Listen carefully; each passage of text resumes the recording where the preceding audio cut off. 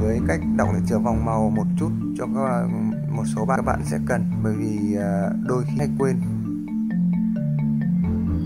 Thì ở trên cái bảng quy ước của nó, quy định vòng màu của sản xuất ra điện trở nó đã quy định vòng màu. Ở giống như trên cái màu ở trên bảng mình đưa lên, màu đen ứng với à, số 0 màu nâu ứng với số 1 cứ tương tự như vậy. Bây giờ mình giả sử như mình đưa ra một con điện trở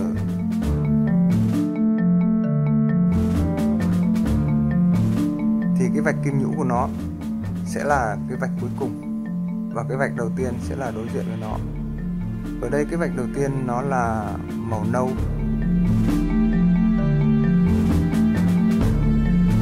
Thì các bạn để vào đây số 1 vạch thứ hai nó là màu đen, thì ứng với số 0 thì các bạn để vào đấy số 0 ở vị trí thứ hai.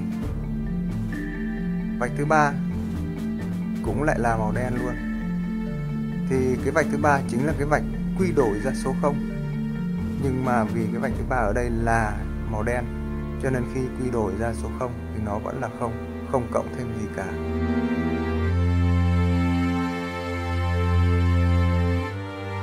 Bây giờ giả sử như mình lấy một con điện trở khác, nó có vạch thứ ba là màu nâu, ở đây là nâu đen nâu.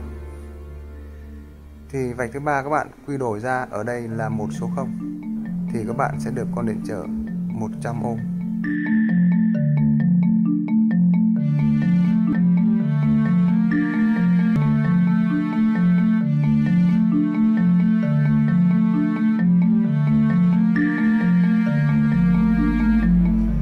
Bây giờ mình giả sử một con điện trở khác có vạch màu là đỏ, xanh, cam.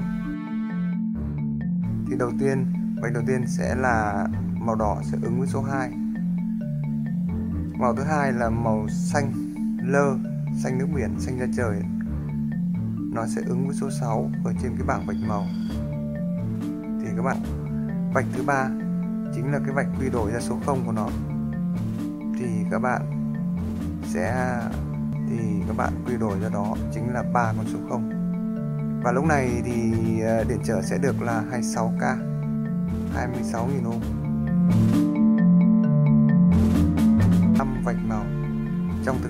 Rất là ít khi gặp, nhưng mà nhiều khi gặp cũng rất là lúng túng.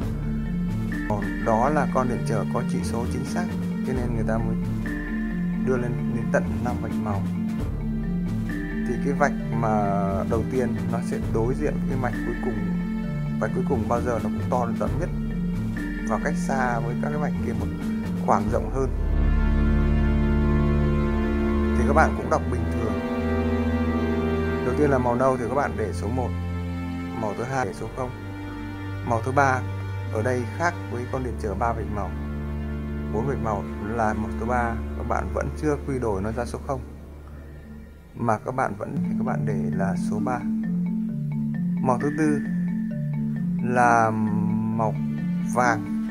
Lúc này các bạn mới quy đổi nó ra số 0 như vậy màu vàng ứng với số 4 vì thế con điện trở này sẽ là một một màu ở cuối cùng như là ngân nhũ, kim nhũ kim nhũ thì nó cho phép sai số 5% ngân nhũ thì nó sẽ cho sai số là 10%.